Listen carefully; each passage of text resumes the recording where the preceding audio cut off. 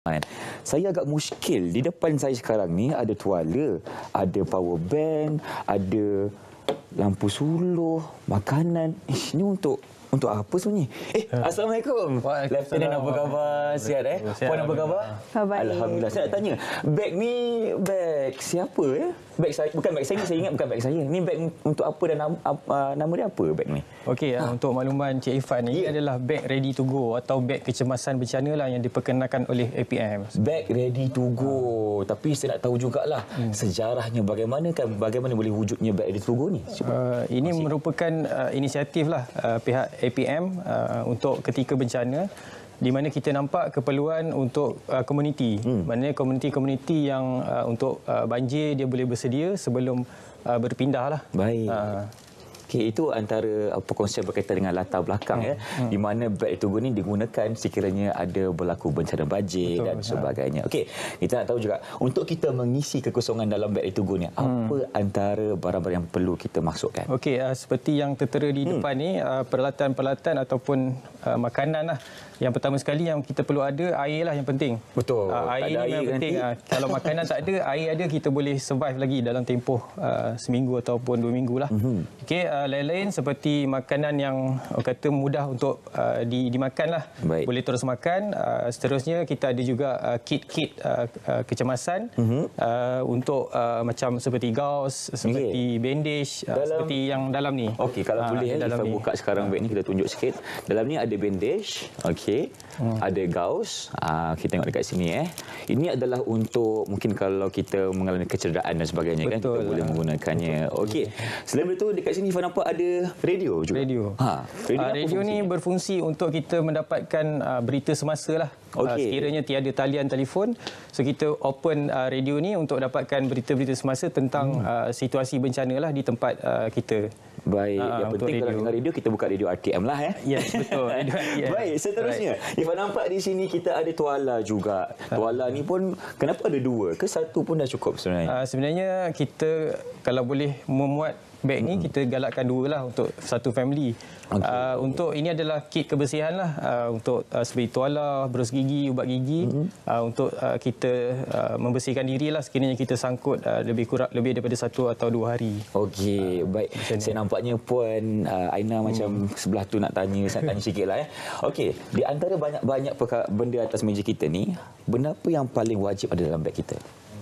Um, bagi saya lah yeah. benda paling wajib ni sebenarnya adalah kad pengenalan kita sebab Ah, okey. kalau kita nak um, masuk ke mana-mana pusat pemindahan kad pengenalan ni sangat penting lah untuk kita rekod data uh, kita buat macam banci lah sebenarnya mm-hmm. dekat dalam pusat pemindahan tu Baik, dan Ifan nampak di sini juga selain pada kad pengenalan, ada juga wang tunai, kan? ada duit kan di sini.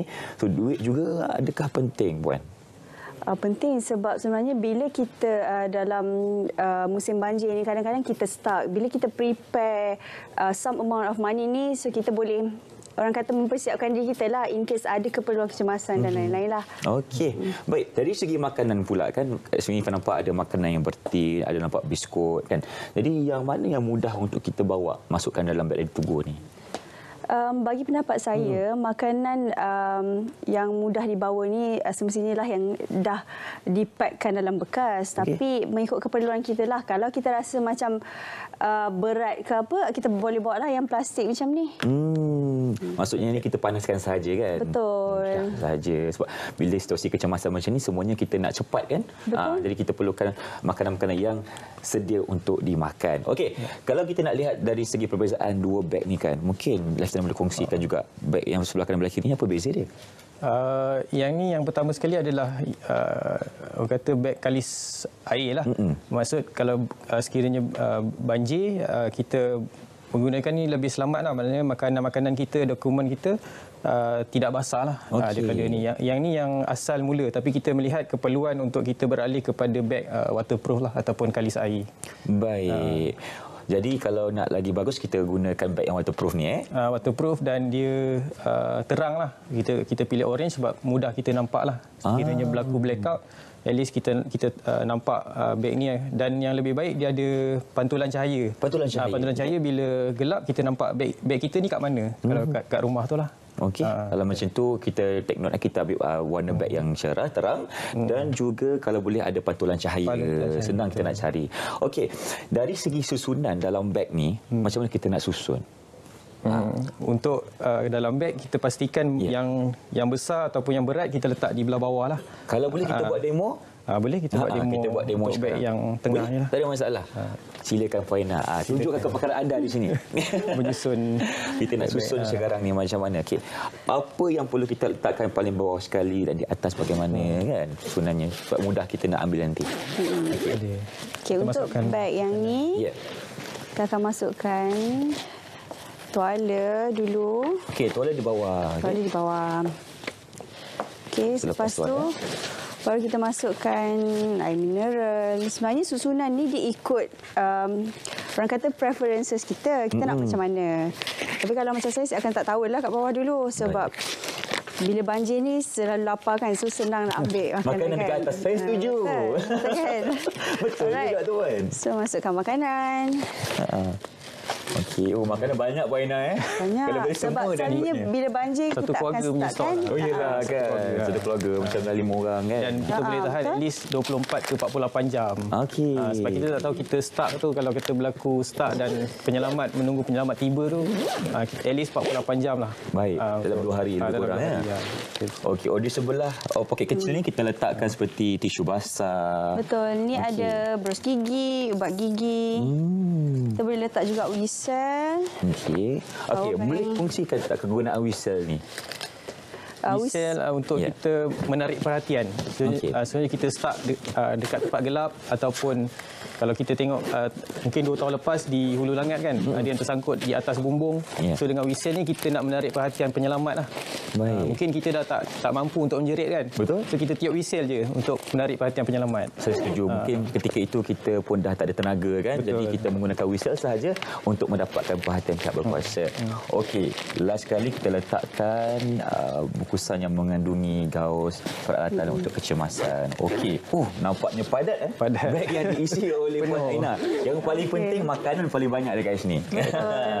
Okey, jadi bila dah siap beg macam ini, untuk seisi keluarga, Yes. patutnya ada berapa beg ni?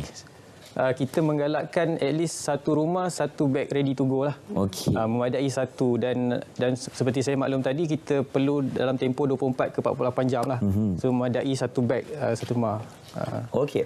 Dan kalau kita nak menjaga beg ni kan kalau mungkin di kawasan banjir tu kita letak di mana? Di kawasan yang selamat tu, hmm. tempat yang tinggi ke? kalau kalau contoh kalau di rumah ni kita kena letak uh, uh, beg ni di tempat yang mudah kita capai lah. Hmm. Mudah kita lihat, jangan kita simpan dalam almari. Betul, nanti so, susah kita nak ambil. berpindah tu kita cari kat mana kan. Hmm. Uh, so kita letak uh, tempat yang mudah dilihat dan mudah dicapai. Okey. Uh, untuk di Pusat Midan uh, kita tak ada masalah lah di Pusat Midan kita dah dah selamat. So beg ni kita letaklah di orang kata tempat yang disediakan lah untuk setiap uh, keluarga tu. Baik. Dan kalau kita bercakap tentang senario banjir kan. Hmm. Jadi uh, mungkin kita nak kongsikan juga kepentingan beg ni apa yang akan kita manfaatkan menggunakan beg ni ketika banjir. Okey. Lagi-lagi sekarang kan musim timur laut yang tengah berlaku kan pada timur dan sebagainya. Sebab tu kita menggalakkan uh, bukan setakat komuniti yang berada di kawasan prone bencana tetapi hmm. komuniti yang mungkin tempat dia tak pernah berlaku bencana tapi kita mengharapkan untuk mereka sediakan juga sebab kita sekarang ni bencana tak mengira tempat lah. Saya setuju. Uh, so semua family uh, kena ada satu beg ni. Okey. Uh, semua keluarga. Baik. Dan kalau kita tengok beg yang uh, kalis air di sebelah sana kan, isinya apa dalam tu? Uh, isi dia sama juga. Sama juga. Uh, sama juga. Cuma ni saya dua sampel lah yang kita sediakan supaya uh, yang ni uh, kalis uh, kalis air lah. Uh, dan yang ni yang ni kalis air juga tapi dia dia tak berapa lama lah dia, dia akan meresap uh, sikit demi sedikit. Okey, jadi kalau mungkin Puan Ena boleh uh, kongsikan sedikit harapan kepada mereka lagi keluarga yang uh, mungkin berada di kawasan banjir untuk terus menyediakan beg ready to go ni. Silakan. Uh, harapan saya adalah semua keluarga uh, mempersiapkan diri uh, keluarga masing-masing dengan beg ready to go ni mm-hmm. supaya bila apa-apa berlaku bencana ni kita senang um, ready and go with the bag. Wah, ready and go with the bag. Okey, Ya. apa kata-kata akhir uh, Lieutenant sendiri? Okey, uh, sejajar dengan uh, kita dah beralih ke fasa MTL sekarang ni start daripada 11 November yang lalu.